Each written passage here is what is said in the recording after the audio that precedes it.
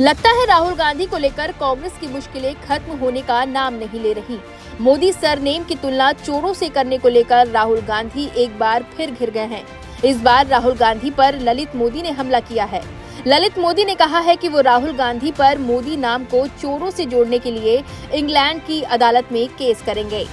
ललित मोदी ने एक के बाद एक तीन ट्वीट कर कांग्रेस और राहुल गांधी पर कई सवाल खड़े कर दिए। अपने तीनों ट्वीट में ललित मोदी ने कांग्रेस के भ्रष्टाचार की कलई खोलने की कोशिश की। ललित मोदी ने अपने पहले ही ट्वीट में ये साफ़ कर दिया कि वो लंदन की अदालत में राहुल गांधी पर केस करने वाले हैं। ललित मोदी ने राहुल गांधी को चेतावनी देते हुए कहा कि कोर्ट में सॉलिड बचाव के लिए तैयार रहें। ललित मोदी ने अपने ट्विटर पर लिखा कि मैं लगभग हर एरे गहरे गांधी सहयोगियों को बार बार ये कहते हुए देखता हूँ कि मैं न्याय का भगौड़ा हूँ। क्यों? कैसे और कब तक? मुझे कभी भी इसके लिए दोषी ठहराया नहीं गया। हैशटैग पप्पू उर्फ़ राहुल गांधी जैसा एक सामान्य नागरिक ये कह रहा है।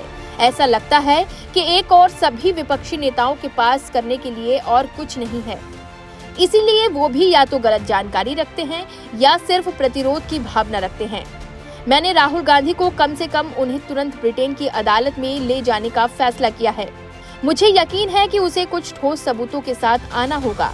मैं उसे खुद को पूर्ण मूर्ख बनाते देखने के लिए उत्सुक हूँ। आर के धवन, सीताराम केसरी, मोतीलाल वोहरा आदि सभी गांधी परिवार के लिए पंचिंग बैग रहे हैं। नारायण दत्त तिवारी को भी नहीं भूलना चाहिए। आप सभी के पास विदेशी संपत्ति कैसे है? पूछो श्री कमलनाथ से। मैं भेज सकता हूँ। उन्होंने डायरेक्ट सवाल किया कि इन लोगों के पास विदेशों में संपत्ति कैसे है।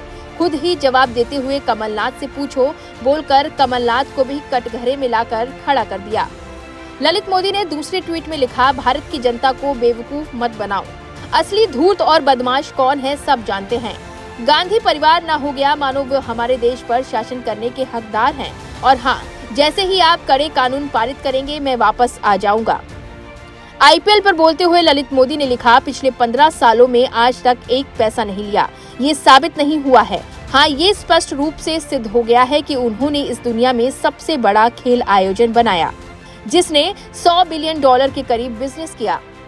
तीसरे और अंतिम ट्वीट में एक बार फिर ललित मोदी ने कांग्रेस को घेरते हुए लिखा कि ये नहीं भूलना चाहिए कि 1950 के दशक की शुरुआत से ही मोदी परिवार ने उनके लिए और भारत देश के लिए इतना कुछ किया है, जिसकी वो कभी कल्पना भी नहीं कर सकते। जितना करने का सपना देखा था, उससे कई अधिक किया। अपने ट्वीट के आखिरी लाइन में ललित मोदी ने लिखा, इसीलिए फेंकते रहो। घोटालेबाज भारत के दागी लुटेरे गांधी परिवार की तरह। जय हिंद। ललित मोदी के इस ट्वीट के बाद कांग्रेस खेमे में एक बार फिर खलबली मच गई है।